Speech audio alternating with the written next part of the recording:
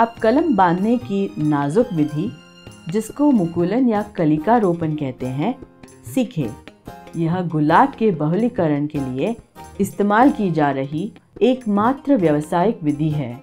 रबड़, नींबू, बरफल और कई अन्य पौधों में मुकुलन को अपनाया जा रहा है। छिलके को खोलने के आकार के आधार पर इसे आई मुकुलन, टी मुकुलन या पैबंद मुकुलन कहा जाता है।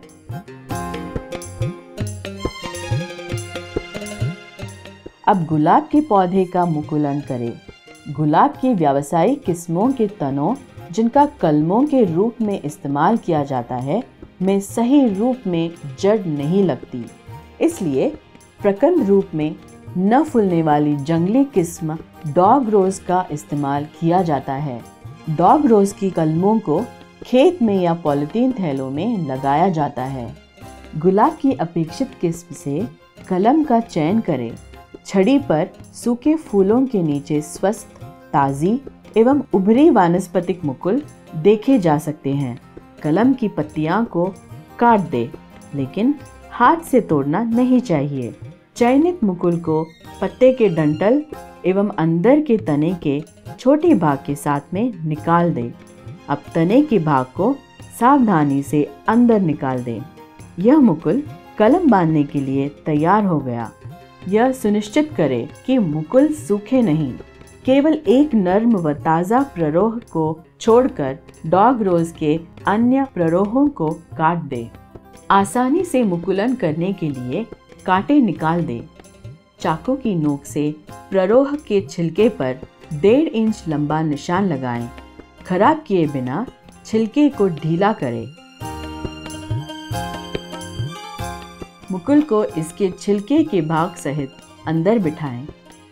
मुकुल खुला छोड़कर प्लास्टिक की पट्टी से कस कर बाँध दें ताकि हवा अंदर न घुसे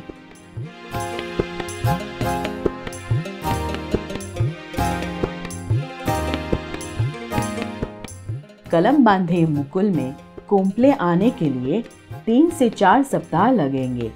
मुकुलित जोड़ पूर्ण रूप से सही होने और मुकुल हरे प्ररोह के रूप में बढ़ने के समय डॉग रोज प्ररोह को मुकुलित जोड़ के ऊपर से काट दे।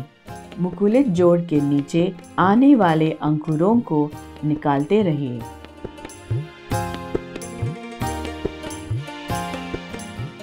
व्यावसायिक गुलाब नर्सरियाँ डॉग रोज कलमों को पॉलिथीन थैलियों में लगाती है। सफल मुकुल को खेत से पॉलिथीन की थैलियों में बदली कर सकते हैं। मुकुलन आसान विधि है, लेकिन इसकी सफलता की दर, यह कार्य करने वाले की कुशलता पर निर्भर होती है। कलम का भाग बहुत छोटा होने के कारण सभी मौसम में हम मुकुलन कर सकते हैं।